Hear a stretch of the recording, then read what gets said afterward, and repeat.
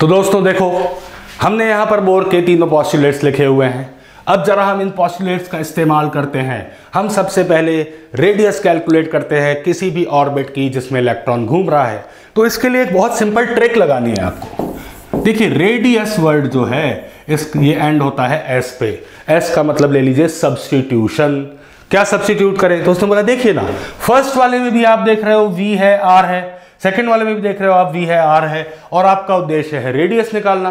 तो क्यों ना वी को सब्सटीट्यूट कर दिया जाए वी को हटा दिया जाए वी को सीन से गायब कर दिया जाए तो हमारे पास आर ही आर बचेगा, और फिर हम बहुत बढ़िया से काम कर सकते हैं। तो देखिए, मैंने लिखा M V square upon R is equal to Z E square upon four pi epsilon naught R square first postulate इसमें से मैंने वी स्क्वायर की वैल्यू निकाली तो मुझे m को भेजना पड़ेगा, r को भेजना पड़ेगा, r चला जाएगा ऊपर जेड ई स्क्वायर के पास में, और m चला जाएगा यहाँ पे तो चलो इसको बीच में यहाँ पे बैठा देते हैं four pi M epsilon naught R square और क्या करें? उन्होंने बोला, रुक जाओ सेकेंड वाला ले लो।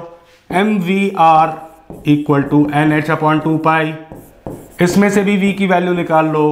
V की वैल्यू आ जाएगी N H upon two pi देखिए, m और r को मैं शिफ्ट कर देता हूँ यहाँ पे। ये v की वैल्यू आ गई। बस ये v की वैल्यू यहाँ पर सब्सटीट्यूट कर दो। फ़र्स्ट पॉस्टुलेट्स में से मिली गई चीज़ों को सेकंड पॉस्टुलेट से मिली गई चीज़ों से सब्सटीट्यूट कर दो। यहाँ पर हम लिख देते हैं N H upon two pi M R क्योंकि ये स्क्वायर है तो मैंने यहाँ पे स्क्वायर कर दिया। Equal to Z E square R upon four pi M epsilon naught R square अब देखिए, ये हमारा काम हो गया। तो हम यहाँ पर क्या कर सकते हैं? स्पेस क्रिएट करते हैं और वर्कआउट करते हैं। तब तक आप देखिए कितनी आसानी से मैंने सब्सटीट्यूट कर लिया। फ़र्स्ट में से वी स्क्वायर के बदले में सेकंड का वी डाल दिया और उसको इस तरह से एक्सप्रेस कर दिया। अब देखते हैं हम क्या होगा। यहाँ पर हो रहा है एन स्क्वायर एच स्क्वायर यहाँ पर हो रहा है N square H square divided by four pi square M square R square यहाँ पे क्या हो रहा है? Z E square Z Z Z Z E square R upon में four pi M epsilon naught R square कौन सी चीज़ same दिख रही है? सबसे पहले तो फोर सेम दिख गया कैंसिल कर दिया। आर स्क्वायर नीचे दिख रहा है कैंसिल कर दिया। पाई यहाँ पर है और यहाँ पर पाई स्क्वायर है एम स्क्वायर यहाँ पर है एम यहाँ पर है। क्यों ना पाई से पाई स्क्वायर को काटा जाए और एक पाई छोड़ दिया जाए? क्यों ना एम से एम स्क्वायर को काटा जाए और एम छोड़ दिया जाए? और कुछ कैंसिल हो रहा है? नहीं नहीं नहीं, और तो कुछ भी कैंसिल नहीं हो रहा है। तो ठीक है, हमें आर की वैल्यू निकालनी है, बाकी सारे लोगों को उठा के उधर ले जा दिया, नीचे से आ रहा है epsilon naught epsilon naught N square H square और कौन? जेड स्क्वायर नीचे चला गया। नीचे पहले से कौन पड़ा है? पाई है एम है, और जेड ई स्क्वायर उसके साथ में आ गया। ये किसकी वैल्यू आ गई? हमारे आर रेडियस की वैल्यू आ गई। देखिए, कितनी आराम से आ गई, सिर्फ़ तीन स्टेप लिए। फ़र्स्ट में से वी स्क्वायर लिख लिया सेकंड में से वी लिख लिया। वी की वैल्यू उठा के उसके अंदर डाल दी, थोड़ा सा कैलकुलेशन कर दिया, जो जो कॉमन थे उनको कट कर दिया, और जब एडजस्ट किया तो हमारे पास में फॉर्मूला आ गया। इस फॉर्मूले की विशेषता क्या है?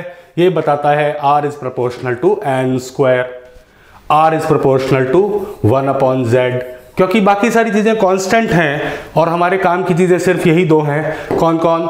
एक तो एन स्क्वायर एक जेड क्योंकि ये वेरिएबल्स हैं। तो हमने इनको लिख लिया यहाँ पे। R is proportional to N square means क्या?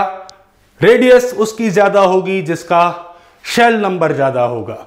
अगर हम एक एटम में अलग अलग शेल्स को कंपेयर करें और उनकी रेडियस कंपेयर करें तो जितनी भी हायर शेल्स होंगी, उनकी वैल्यू उनमें रेडियस की वैल्यू ज़्यादा हो जाएगी। तो हमने बोला अच्छा कैसे?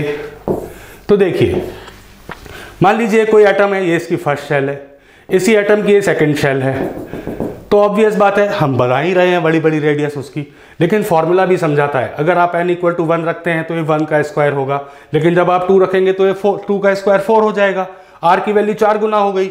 मतलब सेकंड शेल की रेडियस फ़र्स्ट शेल की रेडियस से हमेशा चार गुनी हो गई। इसी तरह से अगर हम इसकी बात करें तो यहाँ पर आप देखोगे कि one upon Z one upon Z Z क्या है? एटॉमिक नंबर प्रोटॉन्स की संख्या। एटॉमिक नंबर जिसका ज़्यादा होगा मतलब बोलते हैं हम हायर एलिमेंट्स जैसे हाइड्रोजन उससे बड़ा हीलियम हीलियम से बड़ा लिथियम लिथियम से बड़ा बेरिलियम तो हम समझ गए कि जैसे जैसे एटॉमिक स्ट्रक्चर एटॉमिक इसमें टेबल में पीरियडिक टेबल में, हम आगे बढ़ते हैं वैसे वैसे z की वैल्यू बढ़ती चली जाती है। तो जब z की वैल्यू बढ़ती है, तब r की वैल्यू कम हो जाती है, क्योंकि इनके बीच में इनवर्स रिलेशन है। डायरेक्ट रिलेशन नहीं होकर के इनके बीच में इनवर्स रिलेशन है। इनवर्स रिलेशन के कारण में z की वैल्यू जब बढ़ेगी मतलब जब हाइड्रोजन से हीलियम को जाएँगे तो रेडियस कम हो जाएगी फॉर द सेम शेल किसके लिए? सेम शेल के लिए। अगर फ़र्स्ट शेल ऑफ़ हाइड्रोजन को हम कंपेयर करेंगे फ़र्स्ट शेल ऑफ़ हीलियम से तो हमें मालूम चलेगा हाइड्रोजन की फ़र्स्ट शेल की रेडियस ज़्यादा है क्योंकि उसका जेड कम है।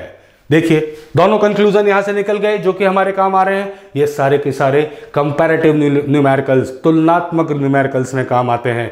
ऐसे न्यूमेरिकल्स बोर्ड को बहुत पसंद है और वो हर बार देता है। क्योंकि उसमें ज़्यादा कैलकुलेशन नहीं करनी फॉर्मूले का भी ज़्यादा इस्तेमाल नहीं करना।